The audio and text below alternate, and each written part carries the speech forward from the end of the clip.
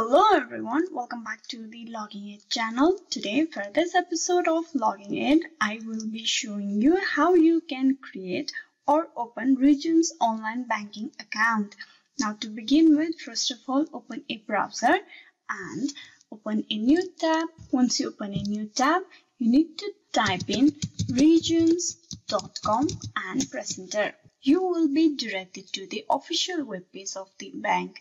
Now here you can see your online banking login. As we are going to enroll as a new user, you click on enroll in online banking.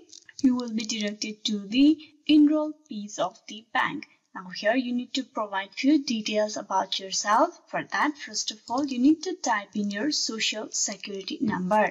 If you do not have your social security number, you can click on this link below. I don't have a social security number. Now, after that, you need to type in the email address in here. Right after you type in the email address, you need to click on confirm email. I'm just going to show you. I'm going to type in the email address in here. Once you've done that, you click on confirm email and then you type in your phone number. What kind of bank account do you want to enroll in Regions Online Banking?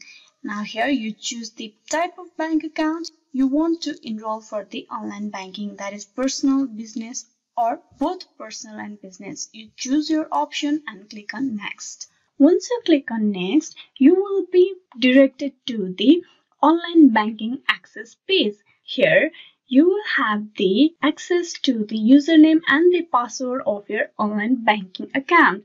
Once it's done, you will be directed to the last step that is the confirmation. Once the confirmation has been done, you will have yourself online banking account in the Regions Bank. Hope this video was useful and you have learned how easily you can get yourself online banking account in Regions Bank. If this video was useful, please like and subscribe the Login Aid channel and also don't forget to click on the bell icon for the notification and get updated on the videos. Thank you.